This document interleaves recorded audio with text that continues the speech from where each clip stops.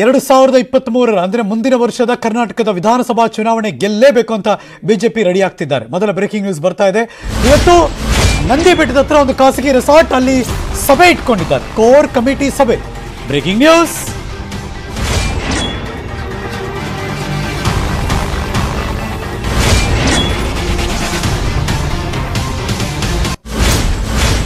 ಬಿಜೆಪಿಯ core committee ಸದಸ್ಯರಿಂದ ಚಿಂತನಾ ಶಿಬಿರ ಇವತ್ತು. ರಾಜ್ಯ ಬಿಜೆಪಿಗೆ ಒಂದಷ್ಟು ಆತಂಕ ತಂದಿರೋದು ಆಂತರಿಕ ಸಮೀಕ್ಷೆ. ಈ ಕ್ಷಣ ಈ ಕ್ಷಣ ಏನಾದರೂ ಚುನಾವಣೆ ನಡೆದ್ರೆ ಬಿಜೆಪಿ ಗೆಲ್ಲಬರಿ ಎಂಬತ್ತು ಸೀಟ್ ಅಂತೆ ಬಿಜೆಪಿಗೆ ಇದೊಂಥರ ಆತಂಕ ಮತ್ತು ಭಯ ಹುಟ್ಟಿಸಿದೆ ಅಂತ ಅವರ ಆಂತರಿಕ ಸಮೀಕ್ಷೆಗಳ ಲೆಕ್ಕಾಚಾರ. ಅವರ ಇಂಟರ್ನಲ್ ಸರ್ವೆ ರಿಪೋರ್ಟ್ ಇದು. ಸಮೀಕ್ಷೆಗಳ ವರದಿಗಳು ಬಿಜೆಪಿಗೆ ಒಂಥರ ವ್ಯತಿರಿಕ್ತವಾಗಿ ಬರ್ತಾ ಇದೆ. ಜನಾಭಿಪ್ರಾಯ ಸರ್ಕಾರದ ವಿರುದ್ಧ ಇದೆ. ಆಂಟಿ ಇನ್ಕಂಬೆನ್ಸಿ ಇದೆ ಅನ್ನೋದು ಲೆಕ್ಕಾಚಾರ ಅವ್ರದ್ದು. ಅನ್ನೋ ಮಾಹಿತಿ ಅವ್ರಿಗೆ ಸಿಕ್ಕಿದೆ ಈಗ. ಒಂದು ಫಾರ್ಟಿ ಪರ್ಸೆಂಟ್ ಕಮಿಷನ್ ವಿಚಾರ, ಮತ್ತೊಂದು ಪಿ ಎಸ್ ಐ ಹಗರಣದ ವಿಚಾರ, ಇನ್ನೊಂದು, ಪಠ್ಯಪುಸ್ತಕದ ವಿವಾದ ಟೆನ್ಷನ್ ಯಡಿಯೂರಪ್ಪನವರು ಸೈಲೆಂಟ್ ಆಗಿರೋದು, ಅವ್ರನ್ನ ಕಡೆಗಣನೆ ಮಾಡಿರೋದು, ಅಭಿವೃದ್ಧಿ ಕುಂಠಿತ ಅನ್ನೋ ಆರೋಪ ಡ್ಯಾಮೇಜ್ ಮಾಡಿದೆ ಬೆಂಗಳೂರಿನ ರಸ್ತೆ ಗುಂಡಿಗಳು, ಇವೆಲ್ಲವೂ ಕೂಡ ಒನ್ ಟೂ ತ್ರೀ ಫೋರ್ ಒಂದಷ್ಟು ಅದ್ರ ಬಗ್ಗೆ ಪಾಯಿಂಟ್ಸ್ ಹೋಗ್ತಾ ಇದೆ.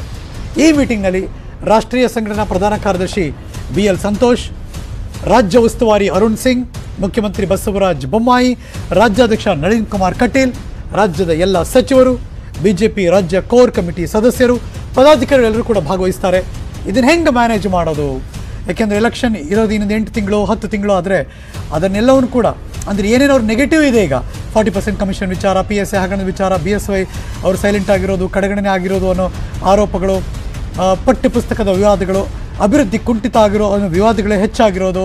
ಡ್ಯಾಮೇಜ್ ಮಾಡಿರುವಂಥ ರಸ್ತೆ ಗುಂಡಿಗಳು ಈ ಎಲ್ಲವೂ ಕೂಡ ಸರಿಪಡಿಸಬೇಕು. ಏನೇನು ಮಾಡಬೇಕು? ಈ ಡ್ಯಾಮೇಜ್ ಆಗಿರೋದೆಲ್ಲ ಮ್ಯಾನೇಜ್ ಮಾಡಿ ಹೇಗೆ ಜನರ ವಿಶ್ವಾಸವನ್ನು ಗಳಿಸಬೇಕು? ಈ ಎಂಟೊಂಬತ್ತು ತಿಂಗಳ ಗ್ಯಾಪಲ್ಲಿ ಮತ್ತೆ ಅದನ್ನು ವಿಶ್ವಾಸನ ಗಳಿಸೋದಷ್ಟೇ ಅಲ್ಲ, ಅದನ್ನು ಓಟಾಗಿ ಕನ್ವರ್ಟು ಆಗಬೇಕು ಮತ್ತು ಅತಿ ಹೆಚ್ಚು ಬಹುಮತ ಪಡೆದು ಬಿ ಜೆ ಪಿ ಮತ್ತೆ ಅಧಿಕಾರಕ್ಕೆ ಬರಬೇಕು. J W Marriott convention centre ಬೆಂಗಳೂರಿನ ನಂದಿ ಬೆಟ್ಟದ ಹತ್ರ ಇರುವಂಥ ಒಂದು ಖಾಸಗಿ ರೆಸಾರ್ಟ್ ಆ ರೆಸಾರ್ಟ್ನಲ್ಲಿ ಗಾಲ್ಫ್ ರೆಸಾರ್ಟ್ ಅದು. ಆ ರೆಸಾರ್ಟ್ನಲ್ಲಿ ಇದೀಗ ಎಲ್ಲ ರಾಜಕಾರಣಿಗಳು ಬಿ ಜೆ ಪಿಯವರು ಅದರೂ ಬಹಳ ಕೋರ್ ಕಮಿಟಿಯ ಸದಸ್ಯರು, ಅವರೆಲ್ಲರೂ ಕೂಡ ಇರ್ತಾರೆ ಮೀಟಿಂಗ್ ಮೇಲೆ ಮೀಟಿಂಗ್ ಮಾಡ್ತಾರೆ. ಅಫ್ಕೋರ್ಸ್ ಇದು ಅವಶ್ಯಕ ನಿಜ. ಇದ್ರ ಬಗ್ಗೆ ಮತ್ತಷ್ಟು ಮಾಹಿತಿ ಕೊಡೋಕೆ ನನ್ನ ಸದ್ಯೋಗಿ ಪೊಲಿಟಿಕಲ್ ಬ್ಯೂರೋ ಇಂದ ಕೃಷ್ಣ ಲೈವ್ ಜಾಯಿನ್ ಆಗ್ತಿದ್ದಾರೆ. Good morning Krishna. ಮೀಟಿಂಗ್ ಎಷ್ಟೊತ್ತಿಗೆ? ಯಾರ್ಯಾರು ಇರ್ತಾರೆ? ಪ್ರಮುಖವಾಗಿ ಇದನ್ನು ಅಡ್ರೆಸ್ ಮಾಡಲೇಬೇಕು ಇಲ್ಲಾಂದರೆ ಪಕ್ಷಕ್ಕೆ ಡ್ಯಾಮೇಜು ಅನ್ನೋ ವಿಚಾರ ಏನು?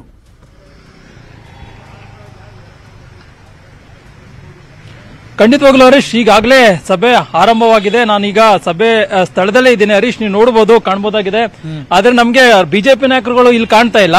ಯಾಕಂದ್ರೆ ನಮ್ಮನ್ನು ಹೊರಗಡೆ ಹಾಕಿದ್ದಾರೆ. ಯಾಕಂದ್ರೆ ಯಾವುದೇ ಒಂದು ವಿಚಾರ ಮಾಧ್ಯಮಗಳಿಗೆ ಗೊತ್ತಾಗಬಾರ್ದು ಅನ್ನೋ ಒಂದು ಕಾರಣಕ್ಕೋಸ್ಕರವಾಗಿ ಒಂದು ರೀತಿ ರಹಸ್ಯ ಸಭೆಗೆ ರಾಜ್ಯ ಬಿಜೆಪಿ ನಾಯಕರು ಮುಂದಾಗಿರುವಂತದ್ದು. ಯಾಕಂದ್ರೆ ಈಗಾಗಲೇ ನಾವು ಕಾಣಬಹುದಾಗಿದೆ ನಂದಿ ಬೆಟ್ಟದ ತಪ್ಪಲ್ ತಪ್ಪಲಿನಿರ್ತಕ್ಕಂಥ ರೆಸಾರ್ಟ್ನ ಖಾಸಗಿ ರೆಸಾರ್ಟ್ನ ಒಳಗಡೆ ಇದೀಗ ಬಿಜೆಪಿ ನಾಯಕರುಗಳು ಒಂದು ರೀತಿ ಸಭೆಯನ್ನ ಮಾಡ್ತಾ ಇದ್ದಾರೆ.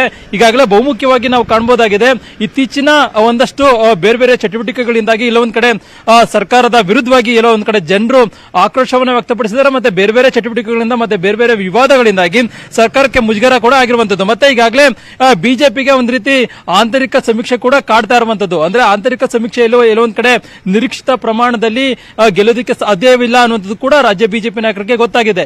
ಈಗಾಗಲೇ ಅಮಿತ್ ಶಾ ಅವರು ರಾಜ್ಯಕ್ಕೆ ಬಂದು ಸುಮಾರು ನೂರೈವತ್ತು ಗೆಲ್ಲುವಂತ ಗುರಿಯನ್ನ ರಾಜ್ಯ ಬಿಜೆಪಿ ನಾಯಕರಿಗೆ ಕೊಟ್ಟಿದ್ದಾರೆ. ಆದರೆ ಅದು ಎಲ್ಲೋ ಒಂದ್ ಕಡೆ ಅದನ್ನ ಗುರಿ ಮುಟ್ಟುವಂತ ಒಂದು ಕೆಲಸಕ್ಕೆ ಎಲ್ಲೋ ಒಂದ್ ಕಡೆ ಬಿಜೆಪಿ ನಾಯಕರು ಪ್ರಯತ್ನವನ್ನ ಪಟ್ಟರು ಕೂಡ ಅದು ಎಲ್ಲೋ ಒಂದ್ ಕಡೆ ಆಗ್ತಾ ಇಲ್ಲ ಅನ್ನುವಂಥದ್ದು. ಇದೀಗ ಅದನ್ನ ಗುರಿ ತಲುಪುವಂತ ನಿಟ್ಟಿನಲ್ಲಿ ಯಾವ ರೀತಿಯಾದಂತಹ ತಂತ್ರಗಾರಿಕೆಯನ್ನ ಮಾಡಬೇಕು ಅನ್ನೋ ಒಂದು ನಿಟ್ಟಿನಲ್ಲಿ ಒಂದಷ್ಟು ಮಹತ್ವದ ಮಾತುಕತೆ ನಡೀತಿರುವಂತದ್ದು ಈ ಒಂದು ಸಭೆಯನ್ನ ನೇತೃತ್ವವನ್ನ ವಹಿಸಿರುವಂತವರು ಬಿಜೆಪಿ ರಾಷ್ಟ್ರೀಯ ಸಂಘಟನಾ ಕಾರ್ಯದರ್ಶಿಯಾಗಿರ್ತಕ್ಕಂಥ ಬಿ ಎಲ್ ಸಂತೋಷ್ ಅವರು. ಈಗಾಗಲೇ ಅವರು ಕೂಡ ಸಭೆಗೆ ಬಂದಿದ್ದಾರೆ. ಮುಖ್ಯಮಂತ್ರಿ ಬಸವರಾಜ ಬೊಮ್ಮಾಯಿ ಆಗಿರ್ಬೋದು ಮತ್ತೆ ಮಾಜಿ ಮುಖ್ಯಮಂತ್ರಿ ಬಿ ಎಸ್ ಯಡಿಯೂರಪ್ಪ ಸೇರಿದಂತೆ ಅರುಣ್ ಸಿಂಗ್, ಬಿಜೆಪಿ ರಾಜ್ಯಾಧ್ಯಕ್ಷ ನಳಿನ್ ಕುಮಾರ್ ಕಟೀಲ್ ಸೇರಿದಂತೆ ಬಹುಮುಖ್ಯವಾದಂತಹ ಸಂಪುಟದ ಎಲ್ಲಾ ಸಚಿವರುಗಳು ಮತ್ತೆ ಪಕ್ಷದ ಪದಾಧಿಕಾರಿಗಳು ಸಭೆಯಲ್ಲಿ ಭಾಗವಹಿಸಿದ್ದಾರೆ ಆ, ಅವರಿಗೆ ಒಂದಷ್ಟು ಬಿ ಎಲ್ ಸಂತೋಷ್ ಅವರು ಸಭೆಯಲ್ಲಿರ್ತಕ್ಕಂಥ ನಾಯಕರುಗಳಿಗೆ ಒಂದು ಸಂದೇಶವನ್ನ ಒಂದು ರೀತಿ ಯಾವ ರೀತಿಯಾಗಿ ನಾವು ಮುಂದಿನ ದಿನಗಳಲ್ಲಿ ನಡೆಯನ್ನ ಅನುಸರಿಸಬೇಕು ಯಾವ ರೀತಿಯಾಗಿ ಜನರನ್ನ ಸೆಳಿಬೇಕು ಅನ್ನೋ ಒಂದು ನಿಟ್ಟಿನಲ್ಲಿ ಒಂದಷ್ಟು ಕಾರ್ಯತಂತ್ರಗಳ ಬಗ್ಗೆ ಅವರಿಗೆ ಸಲಹೆಯನ್ನ ಕೊಟ್ಟಿದ್ದಾರೆ. ಆ ಒಂದು ಸಲಹೆಗಳ ಆಧಾರದ ಮೇಲೆ ಒಂದಷ್ಟು ರೂಟ್ ಮ್ಯಾಪ್ ಅಂದ್ರೆ ಚುನಾವಣೆಯ ಗೆಲ್ಲುವಂತಹ ಗೆಲ್ಲುವಂತ ನಿಟ್ಟಿನಲ್ಲಿ ಯಾವ ರೀತಿಯಾಗಿ ರೂಟ್ ಮ್ಯಾಪ್ ಅನ್ನ ಮಾಡ್ಕೊಳ್ಬೇಕು ಅನ್ನೋದ್ರ ಬಗ್ಗೆ ಇವತ್ತಿನ ಸಭೆಯಲ್ಲಿ ಮಹತ್ವದ ಚರ್ಚೆ ಆಗುತ್ತೆ ಅಂತಾನೆ ಹೇಳ್ಬೋದು. ಮತ್ತೆ ಈಗಾಗಲೇ ಬೇರೆ ಬೇರೆ ವಿಚಾರಗಳು ಅಂದ್ರೆ ಕಮಿಷನ್ ಆರೋಪ ಆಗಿರ್ಬೋದು ಫಾರ್ಟಿ ಪರ್ಸೆಂಟ್ ಕಮಿಷನ್ ಆರೋಪ ಆಗಿರ್ಬೋದು ಮತ್ತೆ ಪಠ್ಯ ಪುಸ್ತಕ ಪರಿಷ್ಕರಣೆ ಆಗಿರ್ಬೋದು ಮತ್ತೆ ಬೇರೆ ಬೇರೆ ವಿಚಾರಗಳಿಂದಾಗಿ ಒಂದಷ್ಟು ವಿವಾದಗಳು ಕೂಡ ಉಟ್ಕೊಂಡಿರುವಂತದ್ದು. ಆ ಒಂದು ವಿವಾದಗಳಿಂದನೂ ಕೂಡ ಜನರು ಬೇಸತ್ತಿದ್ದಾರೆ ಅನ್ನುವಂಥದ್ದು. ಮತ್ತೆ ಈಗಾಗಲೇ ಬೇರೆ ಬೇರೆ ಸಮುದಾಯಗಳ ಬೇಡಿಕೆಗಳು ಕೂಡ ತಕ್ಕ ಮಟ್ಟಿಗೆ ಮುಖ್ಯಮಂತ್ರಿ ಬಸವರಾಜ ಬೊಮ್ಮಾಯಿ ಅವರು ಮಾಡ್ಕೊಂಡಿ ಮಾಡಿಕೊಟ್ಟಿಲ್ಲ. ಯಾಕಂದ್ರೆ ಈಗಾಗಲೇ ನೀವು ನೋಡಬಹುದು ಹರೀಶ್ ಪ್ರಮುಖವಾಗಿ ಮೀಸಲಾತಿ ವಿಚಾರವಾಗಿ ದೊಡ್ಡ ಮಟ್ಟದಲ್ಲಿ ವಿವಿಧ ಸಮುದಾಯದ ಮುಖಂಡರುಗಳು ದೊಡ್ಡ ಮಟ್ಟದಲ್ಲಿ Okay. ಪ್ರತಿಭಟನೆಯನ್ನ ಮಾಡ್ತಾ ಇದ್ದಾರೆ.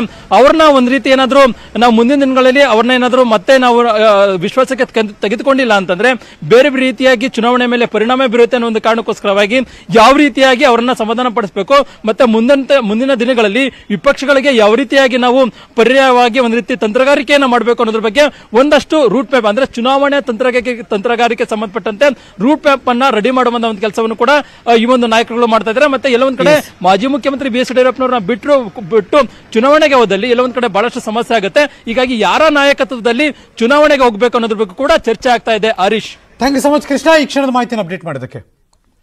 ಕರಾವಳಿ ಮಲೆನಾಡಲ್ಲಿ ನಿಲ್ಲದ ಮಳೆ ಸಂಕಷ್ಟ. ಗುಡ್ಡ, ಮಣ್ಣು ಕುಸಿದ ಆತಂಕ, ತೋಟ ಗದ್ದೆಗೆ ಪ್ರವಾಹದ ನೀರು. ಉತ್ತರದಲ್ಲಿ ಮಹಾಪ್ರವಾಹ, ಬದುಕು ಬೀದಿ ಪಾಲಾಗೋ ಭೀತಿ. ಇದು ಹತ್ತನೇ ದಿವಸದ ವರ್ಣಾರ್ಭಟದ ಸುದ್ದಿ.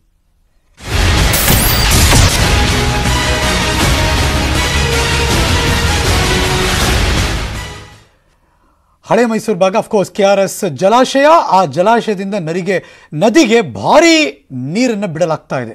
ಪ್ರಸಿದ್ಧ ರಂಗನತಿಟ್ಟು ಪಕ್ಷಿಧಾಮ. ಕೆಲ ಭಾಗ ಅಂತೂ ಮುಳುಗಿ ಹೋಯಿತು. ಬ್ರೇಕಿಂಗ್ ನ್ಯೂಸ್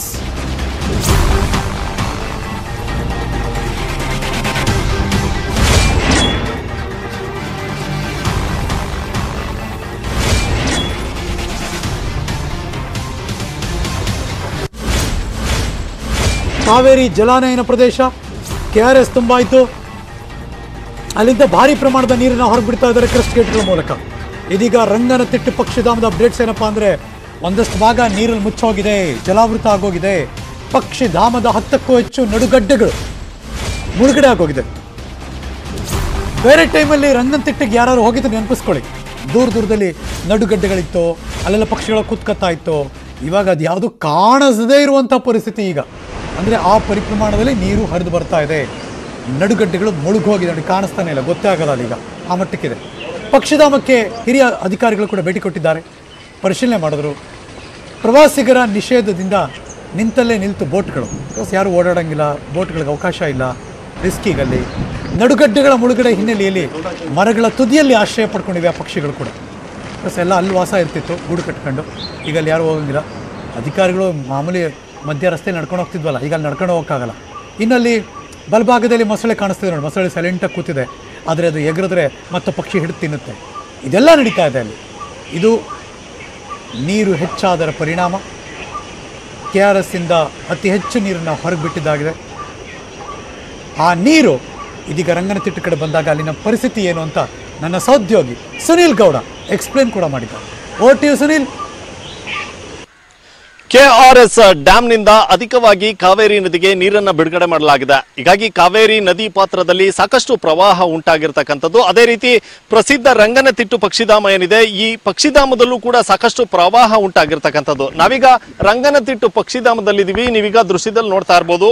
ಯಾವ ರೀತಿ ಪಕ್ಷಿಧಾಮ ಜಲಾವೃತ ಆಗಿದೆ ಅಂತಕ್ಕಂಥದ್ನ ನೀವು ದೃಶ್ಯದಲ್ಲಿ ನೋಡ್ತಾ ಇದ್ದೀರಾ. ಏನು ಪಕ್ಷಿಧಾಮದಲ್ಲಿ ಸಾಕಷ್ಟು ಭಾಗಗಳು ನೀರಿನಿಂದ ಜಲಾವೃತ ಆಗಿರ್ತಕ್ಕಂಥದ್ದು. ಇಲ್ಲಿಗೆ ಪ್ರತಿನಿತ್ಯ ಸಾವಿರಾರು ಪ್ರವಾಸಿಗರು ಆಗಮಿಸ್ತಾ ಇದ್ರು. ಆದ್ರೆ ಪ್ರವಾಸಿಗರಿಗೆ ಈಗ ನಿರ್ಬಂಧವನ್ನ ಹೇರಲಾಗಿದೆ. ಯಾಕಂದ್ರೆ ಏನು ಪ್ರವಾ ಪಕ್ಷಿಧಾಮದಲ್ಲಿ ಸಾಕಷ್ಟು ಭಾಗಗಳು ಜಲಾವೃತ ಏನಾಗಿದೆ? ಕಾವೇರಿ ನೀರು ತುಂಬಿಕೊಂಡಿದೆ. ಹೀಗಾಗಿ ಒಂದಷ್ಟು ಭಾಗಗಳು ಜಲಾವೃತ ಆಗಿರೋದ್ರಿಂದ ಏನು ಪ್ರವಾಸಿಗರಿಗೂ ಕೂಡ ಈಗಾಗಲೇ ನಿರ್ಬಂಧವನ್ನ ಹೇರಲಾಗಿದೆ. ನೀವು ನೋಡ್ತಾ ಇದ್ದೀರಾ ದೃಶ್ಯದಲ್ಲಿ ವಾಕಿಂಗ್ ಪಾತ್ ಏನಿದೆ? ಆ ವಾಕಿಂಗ್ ಪಾತ್ ಕೂಡ ನೀರಿನಲ್ಲಿ ಮುಳ್- ಮುಳುಗಡೆ ಆಗಿರ್ತಕ್ಕಂಥದ್ದು. ಹೀಗಾಗಿ ಪ್ರವಾಸಿಗರಿಗೂ ಕೂಡ ಇಲ್ಲಿ ನಿರ್ಬಂಧವನ್ನ ಹೇರಿರ್ತಕ್ಕಂಥದ್ದು. ಇನ್ನು ಕೆ ಆರ್ ಎಸ್ ಡ್ಯಾಮ್ನಿಂದ ಈಗಾಗಲೇ ಒಂದು ಲಕ್ಷ ಕ್ಯೂಸೆಕ್ಸ್ಗೂ ಅಧಿಕ ನೀರನ್ನ ಹೊರಬಿಡ್ಲಾಗ್ತಾ ಇದೆ ಕಾವೇರಿ ನದಿಗೆ. ಹೀಗಾಗಿ ಇಲ್ಲಿರ್ತಕ್ಕಂಥ ನಡುಗಡ್ಡೆಗಳು ಒಂದಷ್ಟು ಮುಳುಗಡೆ ಆಗಿರ್ತಕ್ಕಂಥದ್ದು. ಆ ನಡುಗಡ್ಡೆಗಳಲ್ಲಿ ಸಾಕಷ್ಟು ಪಕ್ಷಿಗಳು ಕೂಡ ಗೂಡನ್ನ ಕಟ್ಕೊಂಡಿದ್ವು. ಅವೆಲ್ಲವೂ ಕೂಡ ನೀರಿನಲ್ಲಿ ಕೊಚ್ಕೊಂಡು ಹೋಗಿರ್ತಕ್ಕಂಥದ್ದು. ಹೀಗಾಗಿ ಒಂದಷ್ಟು ಪಕ್ಷಿಗಳು ಏನು ಎತ್ತರದ ಪ್ರದೇಶ ಏನಿತ್ತು, ಅಲ್ಲಿ ಆಶ್ರಯವನ್ನ ಪಡೆದುಕೊಂಡಿರ್ತಕ್ಕಂಥದ್ದು. ಹೀಗಾಗಿ ಮುನ್ನೆಚ್ಚರಿಕಾ ಕ್ರಮವಾಗಿ ಅರಣ್ಯ ಇಲಾಖೆ ಅಧಿಕಾರಿಗಳು ಕೂಡ ಸಾಕಷ್ಟು ಕ್ರಮವನ್ನ ತೆಗೆದುಕೊಂಡಿದ್ದಾರೆ. ಜೊತೆಗೆ ಇಲ್ಲಿ ಬರತಕ್ಕಂಥ ಪ್ರವಾಸಿಗರಿಗೂ ಕೂಡ ಈಗಾಗಲೇ ನಿರ್ಬಂಧವನ್ನ ಹೇರಿರ್ತಕ್ಕಂಥದ್ದು. ಪ್ರವಾಸಿಗರಿಗೆ ನಿರ್ಬಂಧವನ್ನ ಹೇರಿದ್ರಿಂದ ಇಲ್ಲಿರ್ತಕ್ಕಂಥ ಬೋಟಿಂಗ್ ಪಾಯಿಂಟ್ ಏನಿದೆ, ಬೋಟ್ಗಳು ನಿಂತಲ್ಲೇ ನಿಂತಿರ್ತಕ್ಕಂಥದ್ದು. ನೀವು ದೃಶ್ಯದಲ್ಲಿ ನೋಡ್ತಿದ್ದೀರಾ, ಈ ಒಂದು ಬೋಟಿಂಗ್ ಪಾಯಿಂಟ್ನಲ್ಲಿ ಸಾಕಷ್ಟು, ಅಂದ್ರೆ ಪ್ರತಿನಿತ್ಯ ಸಾಕಷ್ಟು ಸಂಖ್ಯೆಯಲ್ಲಿ ಪ್ರವಾಸಿಗರು ಆಗಮಿಸ್ತಿದ್ರು. ಆದ್ರೆ ಪ್ರವಾಸಿಗರಿಗೆ ನಿರ್ಬಂಧವನ್ನ ಹೇರಿದ್ರಿಂದ ಬೋಟ್ಗಳು ನಿಂತಲ್ಲೇ ನಿಂತಿರ್ತಕ್ಕಂಥದ್ದು. ಇನ್ನು ಆ ಬೋಟಿನ ಒಳಭಾಗದಲ್ಲೂ ಕೂಡ, ಅಂದ್ರೆ ವಾಕಿಂಗ್ ಪಾತ್ ಏನಿದೆ, ಇಲ್ಲಿ ಪ್ರತಿನಿತ್ಯ ಪ್ರವಾಸಿಗರು ಓಡಾಟವನ್ನ ಮಾಡ್ತಿದ್ರು. ಆದ್ರೆ ಅದು ಕೂಡ ಸಂಪೂರ್ಣವಾಗಿ ನೀರಿನಿಂದ ಮುಚ್ಕೊಂಡಿರ್ತಕ್ಕಂಥದ್ದು. ಹೀಗಾಗಿ ಏನು ಕೆ ಆರ್ ಎಸ್ ಡ್ಯಾಮ್ನಿಂದ ಕಾವೇರಿ ನದಿಗೆ ಬಿಟ್ಟಂತ ನೀರು ಸಾಕಷ್ಟು ಅಂದ್ರೆ ನದಿ ತಟದಲ್ಲಿರ್ತಕ್ಕಂಥ ಸಾಕಷ್ಟು ಪ್ರದೇಶಗಳೇನಿದೆ, ಅವೆಲ್ಲವೂ ಕೂಡ ಜಲಾವೃತ ಆಗ್ತಾ ಇರ್ತಕ್ಕಂಥದ್ದು. ಈ ನಿಟ್ಟಲ್ಲಿ ಈಗ ಲಕ್ಷಕ್ಕೂ ಅಧಿಕ ಕ್ಯೂಸೆಕ್ ನೀರನ್ನ ಕಾವೇರಿ ನದಿಗೆ ಬಿಟ್ಟಿರ್ತಕ್ಕಂಥದ್ದು. ಇನ್ನು ಮುಂದೆ ಇನ್ನೂ ಹೆಚ್ಚಿಗೆ ಮಾಡುವಂತ ಸಾಧ್ಯತೆಗಳು ಕೂಡ ಇದೆ. ಹೀಗಾಗಿ ಅಧಿಕಾರಿಗಳು ಕೂಡ ಮುಂಜಾಗ್ರತಾ ಕ್ರಮವನ್ನ ತೆಗೆದುಕೊಂಡಿದ್ದಾರೆ. ಇನ್ನು ಮುಂದೆ ಅಂದ್ರೆ ಪಕ್ಷಿಗಳು, ಉಳಿದಂತ ಪಕ್ಷಿಗಳೇನಿದ್ದಾವೆ, ಅವನ್ನ ಯಾವ ರೀತಿ ಕಾಪಾಡ್ಕೊಳ್ತಾರೆ ಅಂತಕ್ಕಂಥದ್ನು ಕೂಡ ಕಾದ್ ನೋಡ್ಬೇಕಾಗುತ್ತೆ. ಕ್ಯಾಮ್ರಾ ಪರ್ಸನ್ ಮುದ್ದೇಗೌಡ ಜೊತೆ ಸುನಿಲ್ ಗೌಡ ನ್ಯೂಸ್ ಏಟೀನ್ ಕನ್ನಡ ಮಂಡ್ಯ. ಭದ್ರಾ ಡ್ಯಾಂನಿಂದ ನದಿಗೆ ನೀರನ್ನು ಬಿಟ್ಟ ಹಿನ್ನೆಲೆಯಲ್ಲಿ ಶಿವಮೊಗ್ಗದ ಭದ್ರಾವತಿಯಲ್ಲಿ ಪ್ರವಾಹದ ಪರಿಸ್ಥಿತಿ ಉಂಟಾಗಿದೆ. ಭದ್ರಾವತಿಯಲ್ಲಿ ಹೊಸ ಸೇತುವೆ ಕೂಡ ಮುಳುಗೋಯ್ತು. Breaking news.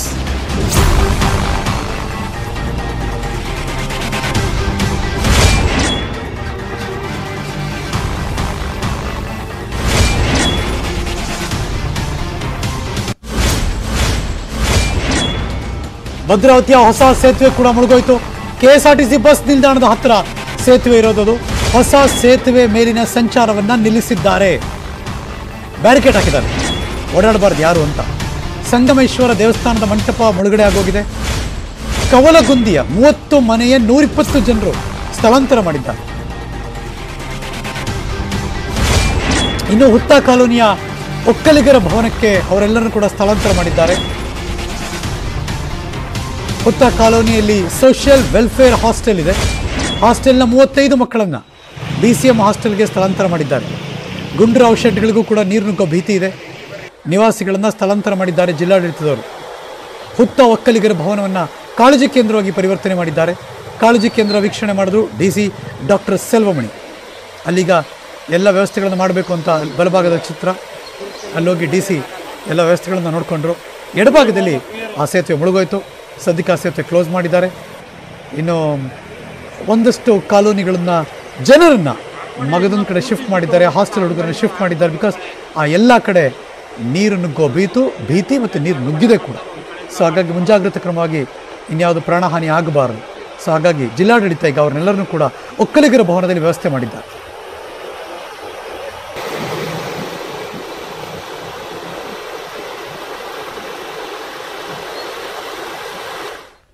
ಚಿಕ್ಕಮಗಳೂರು ಜಿಲ್ಲೆಯಲ್ಲಿ ಮುಂದುವರಿತಾ ಇದೆ ಮಳೆಯ ಅಬ್ಬರ. ಮೂಡಿಗೆರೆ, ಕಳಸಾ, ಕೊಪ್ಪ, ಶೃಂಗೇರಿ, ಎನ್ನಾರ್ಪುರ ತಾಲೂಕಲ್ಲಿ ಭಾರೀ ಮಳೆ ಆಗ್ತಾ ಇದೆ. ದೇವರ ಮನೆ, ಪ್ರವಾಸಿಗರ ಅಚ್ಚುಮೆಚ್ಚಿನ ತಾಣ ಅದು. ಆ ದೇವರ ಮನೆಯಲ್ಲಿ ಒಂದೇ ದಿನ ಬರೋಬ್ಬರಿ ಮುನ್ನೂರೈವತ್ತು ಮಿಲಿ ಮೀಟರ್ ಮಳೆ ಆಗಿದೆ. ಹ್ಯೂಜ್ ಅದು. ಧಾರಾಕಾರ ಮಳೆಗೆ ಜನಜೀವನ ಸಂಪೂರ್ಣ ಅಸ್ತವ್ಯಸ್ತ ಆಗಿದೆ. ಮೂರು ದೃಶ್ಯ ನೋಡಿ. ದೇವರ ಮನೆ, ಪ್ರಸಿದ್ಧ ಕ್ಷ ಟೂರಿಸ್ಟ್ ಪ್ಲೇಸ್ ಅದು. ಅಲ್ಲಿ ಮುನ್ನೂರೈವತ್ತು ಮಿಲಿಮೀಟರ್ ಹ್ಯೂಜ್ ಶೃಂಗೇರಿ ಆಗುಬ್ಬೆ ಸಂಪರ್ಕ ಅಲ್ಲಿ ಕಟ್ಟಾಯಿತು. ಕಳಸ ಚಿಕ್ಕಮಗಳೂರು. ಪರಿಸ್ಥಿತಿ ನೋಡಿ ಹೆಂಗಿದೆ ಅಂತ, ಸಂಪೂರ್ಣ ಅಸ್ತವ್ಯಸ್ತ. ಶೃಂಗೇರಿ ನೇರಳಕೊಡಿ ಗೆಲ್ಲಿ ಅಲ್ಲಿರುವಂಥ ರಾಜ್ಯ ಹೆದ್ದಾರಿ ಕೊಚ್ಚೋಯ್ತು ಶೃಂಗೇರಿ ಆಗುಂಬೆ ಮಾರ್ಗ ಸಂಪೂರ್ಣ ಕಡಿತ ಆಗೋಗಿದೆ. ಕಳಸ ತಾಲೂಕಿನ ಬಲಿಗೆ ಹತ್ರ ಭೂಕುಸಿತ ಆಗಿದೆ. ಬೃಹತ್ ಬಂಡೆಗಳು ರಸ್ತೆ ಮೇಲೆ ಬಂದು ಬಿದ್ದಿದೆ. ಹೊರನಾಡು ಬಲಿಗೆ ಬಲಿಗೆ ಅಂದರೆ ಜಾಗ ಅದು. ಹೊರನಾಡು ಬಲಿಗೆ ಸಂಪರ್ಕಿಸುವ ರಸ್ತೆ ಪಕ್ಕದಲ್ಲಿ ಭೂಕುಸಿತ ಆಗೋಗಿದೆ ಅಲ್ಲೂ ಕೂಡ ಜನಜೀವನ ಅಸ್ತವ್ಯಸ್ತ ಆಯಿತು. ವಾಹನ ಸಂಚಾರ ಮಾಡೋಕ್ಕಾಗ್ತಿಲ್ಲ. ನಾವು ಅದಕ್ಕೆ ಅವಾಗ ಮೆನ್ಷನ್ ಮಾಡ್ತಾ ಇದ್ದೀವಿ ಎಷ್ಟು ಮಳೆ ಚೆನ್ನಾಗಿದೆ. ಹೋಗಿ ನೋಡ್ಕೊಂಬರೋಣ. ಟ್ರಿಪ್ಗೆ ಹೋಗೋಣ ಅಂತೆಲ್ಲ ಹೊಟ್ಬಿಟ್ಟಿರ ಬೇಡ. ಸುತ್ತಮುತ್ತ ಇರೋಲ್ಲ ಹೋಗಿ ನೋಡೋದು ಬೇರೆ. ಇಲ್ಲಿಂದ ಯಾರೋ ಟ್ರಿಪ್ಗೆ ಹೋಗೋಣ ಎಂಜಾಯ್ ಮಾಡೋಣ ಅನ್ನೋದು ಬೇರೆ. ಬಿಕಾಸ್ ಗೊತ್ತಿರಲ್ಲ ನಮಗೆ ಏನೇನು ಆಗ್ತಿದೆ ಅಂತ. ಸೊ ಹಾಗಾಗಿ ಒಂದಷ್ಟು ದಿವಸ ಆ ಭಾಗಕ್ಕೆ ಹೋಗದೇ ಇರೋದೇ ಒಳ್ಳೆಯದು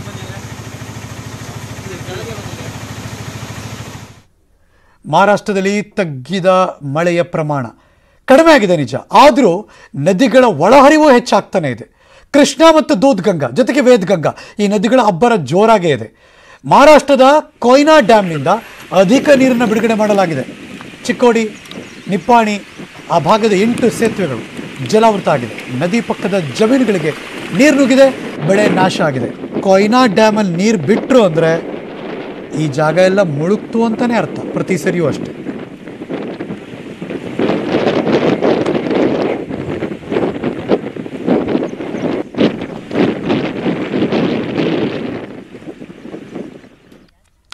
ಅಪಾಯದ ಮಟ್ಟ ಮೀರಿ ಹರಿತಾ ಇದೆ ತುಂಗಭದ್ರಾ ನದಿ.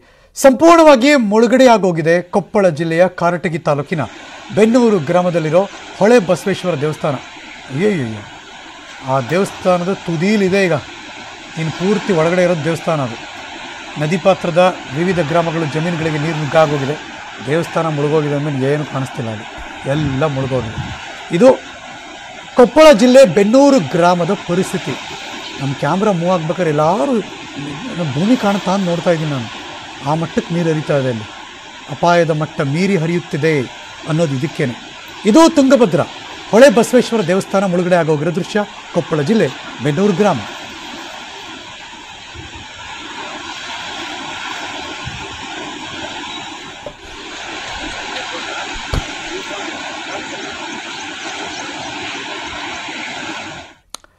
ಇದನ್ನೆಲ್ಲ ನೋಡ್ತಾ ಇದ್ರೆ ಅನ್ಸುತ್ತೆ ಡೆಫಿನೆಟ್ ಆಗಿ ಮುಂಗಾರು ಮಳೆಗೆ ಭಾರಿ ಹಾನಿಯಾಗಿದೆ ಅಂತ. ಹೌದು, ನೆರೆ ಪರಿಹಾರದ ಬಗ್ಗೆ ಸಿಎಂ ಬೊಮ್ಮಾಯಿ ಅವರು ಸಭೆ ಮಾಡ್ತಿದ್ದಾರೆ. ಇವತ್ತು ಮಧ್ಯಾಹ್ನ ಒಂದು ಮೂವತ್ತಕ್ಕೆ ವಿಡಿಯೋ ಕಾನ್ಫರೆನ್ಸ್ ಮೂಲಕ ಮೀಟಿಂಗ್ ಕರೆದಿದ್ದಾರೆ. Breaking news.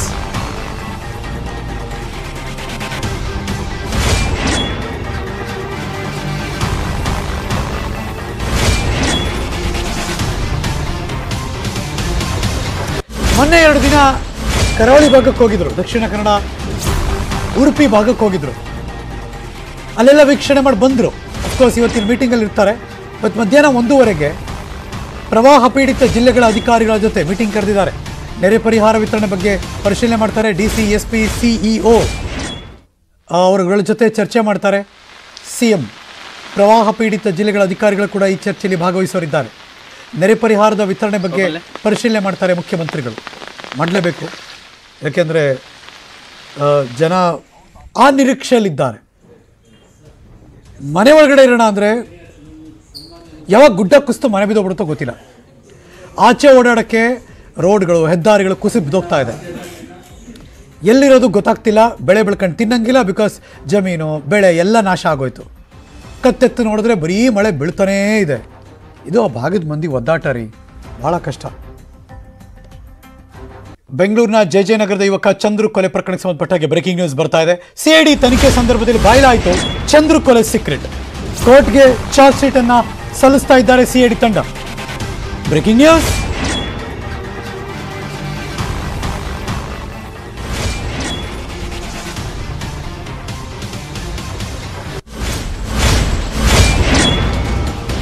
ನೂರ ಇಪ್ಪತ್ತೊಂದು ಪುಟಗಳ ಚಾರ್ಜ್ ಶೀಟ್ ಅದು. ಕೋರ್ಟ್ಗೆ ಸಲ್ಲಿಸಿದ್ರು ಸಿಐಡಿ ಚಂದ್ರು ಕೊಲೆ ಸಂಬಂಧ ನಲವತ್ತೊಂಬತ್ತು ಸಾಕ್ಷ್ಯಗಳ ಹೇಳಿಕೆಯನ್ನ ದಾಖಲು ಮಾಡ್ತಿದ್ದಾರೆ. ವಿವಿಧ ವಿವಿಧ ಆಯಾಮಗಳಲ್ಲಿ ತನಿಖೆ ನಡೆಸಿ ಸಿಐಡಿ ರಿಪೋರ್ಟ್ ಕೊಟ್ಟಿದ್ದಾರೆ. ಆ ಚಾರ್ಜ್ ಶೀಟ್ನಲ್ಲಿ ಏನಿದೆ ಅನ್ನೋದು ಈಗಿರುವಂತ ಕುತೂಹಲ. ಒಂದಷ್ಟು ಮಾಹಿತಿ ನ್ಯೂಸ್ ಏಟಿಂಗ್ ಕನ್ನಡಕ್ಕೆ ಲಭ್ಯ ಇದೆ. ಅದನ್ನ ಮುಂದೆ ಇಡ್ತಾ ಇದೀವಿ ಏಪ್ರಿಲ್ ಐದನೇ ತಾರೀಕು, ಎರಡು ಸಾವಿರದ ಇಪ್ಪತ್ತೆರಡು ರಾತ್ರಿಯಲ್ಲಿ ಅಸಲಿಗೆ ಏನ್ ನಡೀತು? ಒಂದು ಎಕ್ಸ್ಕ್ಲೂಸಿವ್ ಚಾರ್ಜ್ ಶೀಟ್ ಇರುವಂತಹ ಡೀಟೇಲ್ಸ್ ನಿಮ್ಮ ಮುಂದೆ ಇಡ್ತಾ ಇದ್ದೀವಿ. ಅದರ ಮುಂದುವರಿದ ಭಾಗ ಚಂದ್ರ ಕೊಲೆಗೆ ಕಾರಣ ಆಯ್ತಾ? ಆ ಒಂದು ಮಾತು. ಏನ್ ಮಾತದು? ಕನ್ನಡ ನಹಿ ಆತ, ಉರ್ದು ಮೇ ಬೋಲೋ ಅನ್ನೋ ಮಾತೆ ದೊಡ್ಡ ಮಟ್ಟಕ್ಕೆ ಮುಳುವಾಯ್ತಾ ಅನ್ನೋ ಪ್ರಶ್ನೆ ಕಾಡುತ್ತೆ. Breaking news number two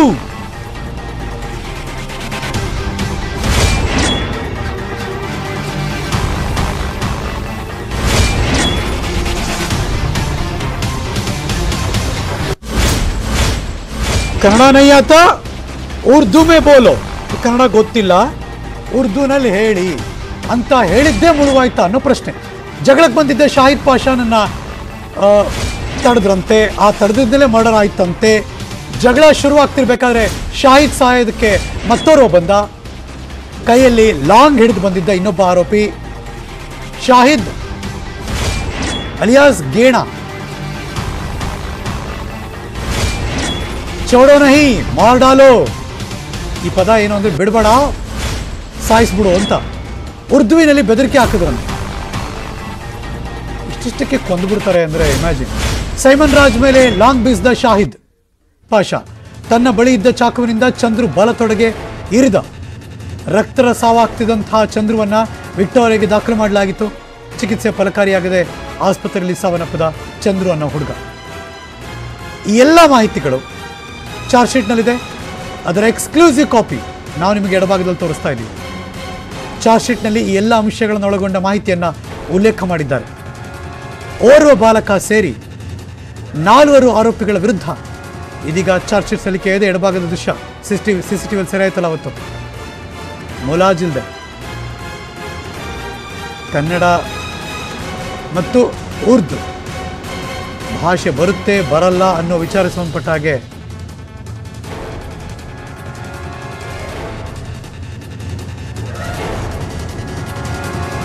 ನಡೆದಂಥ ಪ್ರಕರಣ ಇದು. ಏಪ್ರಿಲ್ ಆರನೇ ತಾರೀಕು ಎರಡ್ ಸಾವಿರದ ಇಪ್ಪತ್ತೆರಡು. ಚಂದ್ರು ಸ್ನೇಹಿತ ಸೈಮನ್ ಜೆ ಜೆ ನಗರದಲ್ಲಿ ಠಾಣೆಯಲ್ಲಿ ಒಂದು ದೂರು ಕೊಟ್ಟಿದ್ರು. ಅದರಲ್ಲಿ ಭಾಷೆ ವಿಚಾರವನ್ನ ಪ್ರಸ್ತಾಪ ಮಾಡಿಲ್ಲ. ಬೈಕ್ ಟಚ್ ಆಯಿತು, ಆಗ ಗಲಾಟೆ ಆಯಿತು ಅಂದ್ರು. ಈ ಸಂದರ್ಭದಲ್ಲಿ ಕಬ್ಬಿಣದ ರಾಡಿಂದ ಬೀಸಿದ್ರು ಅಂದ್ರು. ಜೊತೆಗೆ ಚಾಕುವಿನಿಂದ ಚಂದ್ರು ತೊಡೆಗೆ ಇರಿದಿದ್ರು ಆತ ಸ್ಥಳದಲ್ಲೇ ಕುಸಿದು ಬಿದ್ದಿದ್ದ. ನಾನಿನಿಂದ ಓಡೋಗ್ಬಿಟ್ಟೆ ಅಂತ ಸೈಮನ್ ಹೇಳಿಕೆ ಕೊಟ್ಟಿದ್ದ. ಅದಕ್ಕೂ ಚಾರ್ಜ್ ಶೀಟ್ನಲ್ಲಿ ಇವರು ಉಲ್ಲೇಖ ಮಾಡಿದ್ದಕ್ಕೂ ವ್ಯತ್ಯಾಸ ಇದೆ.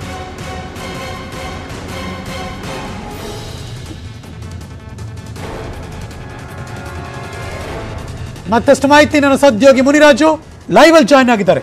Good morning Muniraju. ಏನ್ ನಡೀತಿದೆ ಚಾರ್ಜ್ ಶೀಟ್ ಅಲ್ಲಿ ಪ್ರಕರಣ ಯಾವ ಹಂತಕ್ಕೆ ಬಂತೀಗ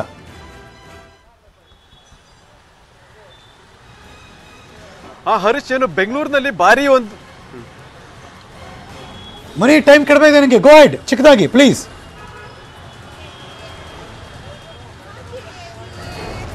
ಹರೀಶ್ ಬೆಂಗಳೂರಿನಲ್ಲಿ ಒಂದು ಭಾರಿ ಸಂಚಲನ ಈ ಒಂದು ಚಂದ್ರು ಕೊಲೆ ಪ್ರಕರಣ ಸೃಷ್ಟಿ ಮಾಡಿತ್ತು. ಅದರಲ್ಲಿ ಪ್ರಮುಖವಾಗಿ ಏನು, ಆತನ ಸ್ನೇಹಿತ ಒಂದು ಸೈಮನ್ ಕೊಟ್ಟ ಒಂದು ಸ್ಟೇಟ್ಮೆಂಟ್ ಏನಿತ್ತು, ಬೈಕ್ ವಿಚಾರವಾಗಿ ಒಂದು ಗಲಾಟೆ ನಡೆದಿತ್ತು, ಬೈಕ್ ಟಚ್ ಒಂದು, ಟಚ್ ಆಗಿ ಒಂದು ಗಲಾಟೆ ನಡೆದು ಒಂದು ಕೊಲೆ ಆಗಿತ್ತು ಅಂತ ಹೇಳಿ ಒಂದು ಆರೋಪವನ್ನು ಮಾಡಿದ್ರು.